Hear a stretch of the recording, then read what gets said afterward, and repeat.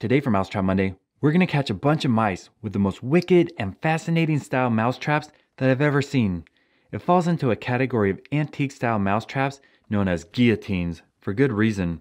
Each one has a sharp metal blade that comes slamming down on the mouse's neck.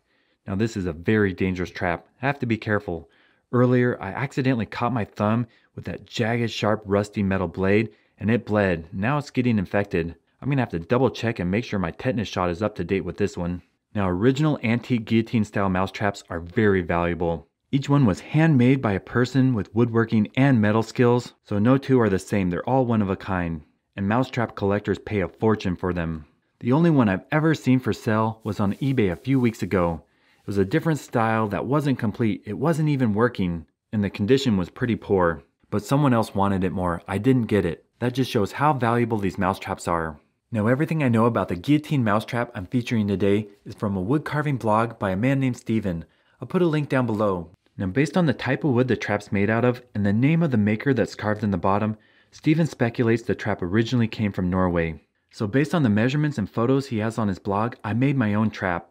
Now people give me a hard time in the comment section. They say my videos aren't long enough and I don't show how I make the traps. So in this video, I'll show you step by step how I made this. But it's a very time consuming process. So I'll show you the highlights and do some fast motion, but if you want to make this trap, at least you'll get an idea. And then after I show you how to make it, we'll catch some mice. The first thing we need to make our mouse trap is a piece of wood. Now originally the mouse trap was made out of a burl. This is a burl. It's basically a funny growth on a tree. You can see the skinny trunk and then it bulges at the bottom. Woodworkers love to work with burls. The grain inside's all twisted and gnarly and it's a very dense wood. But I'm not going to use this burl to make our mouse trap. First of all, it's way too big. Secondly, the tree's still living. I'd have to cut it down, cut it up, and the wood will shrink and warp and twist. That will take quite a bit of time. And the third reason is, it's the wrong kind of tree. This is a cherry tree. Originally being from Norway, the mousetrap was made out of a paper birch burl. And as you can see, there's not a lot of paper birch trees around here. So to find the wood for my mousetrap, I found the answer in Russia. Well, actually on eBay.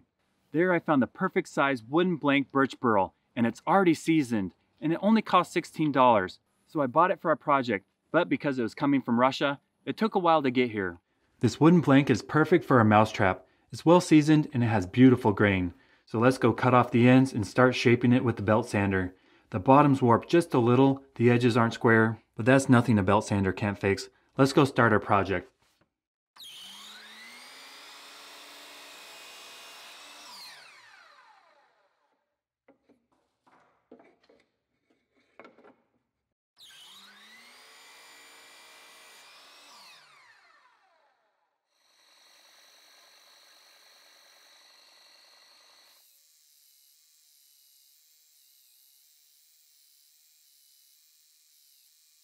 Now that our wooden blank is cut to the rough shape and sanded smooth, we're ready to make the hole.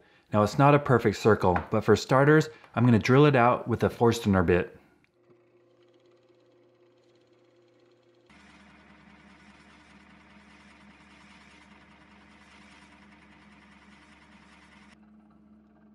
With the hole drilled, we're ready to finish shaping it with the Dremel tool.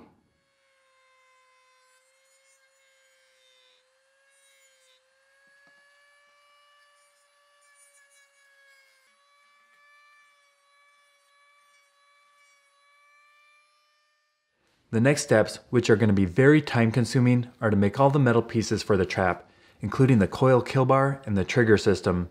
On the original, at the center of the coil was a bolt with a square head. That's what I have here. We'll drill a hole and mount this. Now for the coil, I have a piece of metal strapping. This came on a shipment of lumber. It's kind of rusty, but it's very springy. It should work well.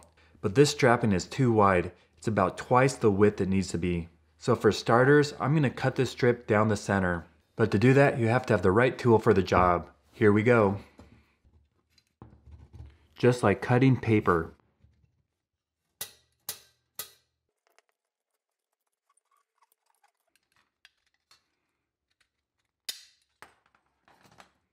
Now we can make the coil by tightly wrapping the metal around a pair of pliers three or four times.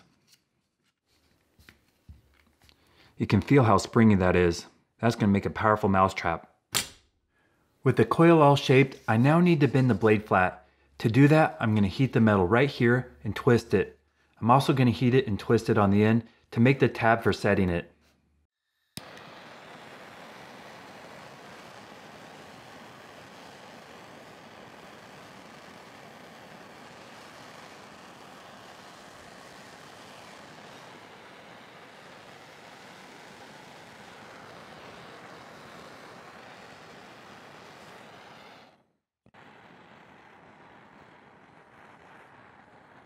With the metal on the kill bar twisted, we can now file in some teeth, finish making all the components of the trigger system, and shape the wood. We'll drill it, sand it, and fit everything together.